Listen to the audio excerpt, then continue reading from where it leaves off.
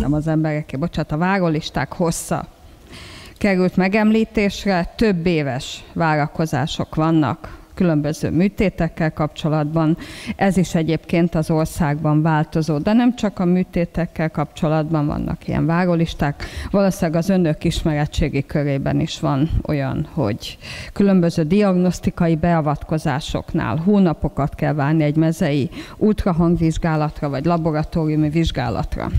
Mekkora lehet a baj, ha a Fidesz üzemi lapja, a heti válasz is már ezzel foglalkozik, és kifejezetten az elmúlt három év teljesítményének gondolja a várólisták növekedését. Ehhez kapcsolódik az is, hogy a beszállítók egyre nagyobb gondokat jeleznek. A kórházak adósságállománya soha nem látott mértékű lett, 120 milliárd körül jár. Gyógyszergyáraknak, gyógyszernagy kereskedőknek, műszergyártóknak tartoznak az intézmények. És a legújabb, hogy a takarító cégeket sem tudják a kórházak fizetni.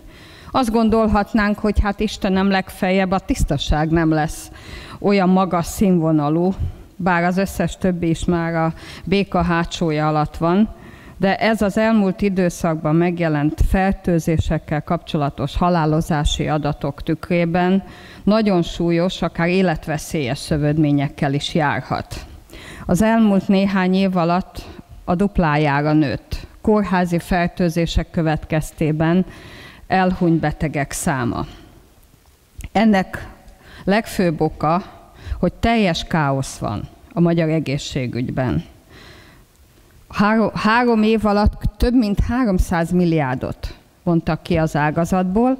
Az államosítás eredményeként sikerült létrehozni egy abszolút vízfejet, ez a GEMSZI, amelyiknek hivatása lenne irányítani a magyar egészségügyet, de ez az ezer fős társaság, másképp nem is nagyon lehetne őket jellemezni, a szakértelem és a tudás teljes hiányában próbálnak megevickélni. Ez megfejelődött egy szintén hozzá nem értő állami kormányzati vízfejjel. Mi az oka a várólisták hihetetlen növekedésének. Egyrészt osztályok bezárásra kerültek az elmúlt években, és soha nem látott mértékű lett az orvos és egészségügyi szakdolgozók elvándorlása. Az ígéretekkel ellentétben egy újabb hazugság az orvosi bérek, illetve a szakdolgozói bérek jelentős növelése. Azt már nem tették hozzá, hogy ez a béremelés a bértábla alapján történik, ami azt jelenti, hogy a fix összeg helyett mindenki csak a saját bérének a százalékában kap emelést. Ilyen, ennek eredménye, hogy nem 40 ezret, hanem vannak, akik 4000 forintos béremelésben részesültek.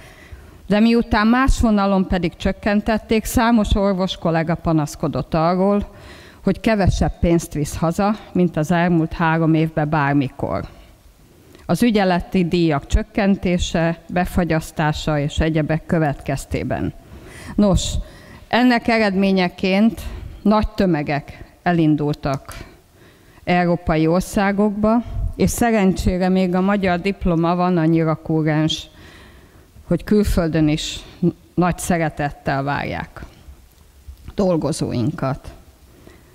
Ennek eredménye lesz az, hogy a magyar egészségügy teljes összeomlás előtt áll, a betegellátás soha nem látott mélyponton van, mind szakmai, mind eszköz ellátottság tekintetében.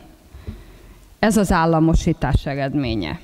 Az államosítás eredménye, hogy sikerült megszabadulni az önkormányzati ingatlanoktól, sikerült megszabadulni attól a plusz pénztől, ez éves szinten közel 100 milliárd forint volt, amit az önkormányzatok beletettek egészségügyi intézményeik működtetésébe.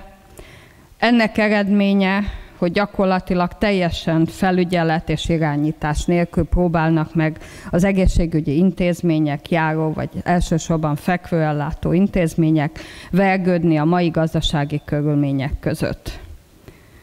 Úgy gondoljuk, hogy az oktatás mellett az egészségügy a legsúlyosabb helyzetben lévő ágazat, abszolút mostoha gyermeke a jelenlegi kormánynak, és beláthatatlan következményei lesznek, hogyha ebben sürgős változás nem fog történni.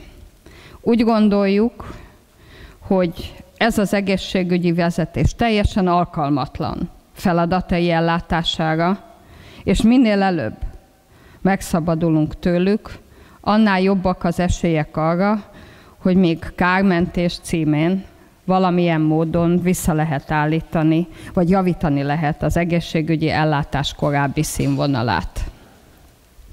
Reméljük, hogy ez az fennmaradó, hátra maradó néhány hónap nem fogja tovább rontani az egészségügyi ágazat helyzetét, és a költségvetés során megpróbálják valamilyen módon kompenzálni azokat a százmilliárdos kivonásokat, amik az elmúlt éveket jellemezték.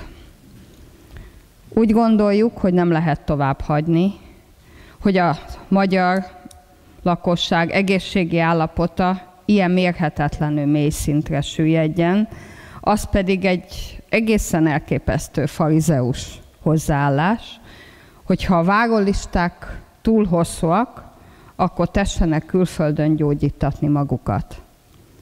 Gondolom önök számára is világos, hogy ki az, aki megengedheti magának, hogy külföldön gyógyítassa vagy operáltassa magát, de ez még elképzelhető is lenne, ezt mind a magyar egészségbiztosításnak kéne kifizetni, ami azt jelenti, hogy az itt maradókra még sokkal kevesebb forrás jutna az itteniek egészségének megőrzésére, gyógyítására, az intézményrendszer fenntartására. Vessen véget a Fidesz azonnal ennek a káosznak, a betegek életének és a lakosság egészségének a veszélyeztetésének.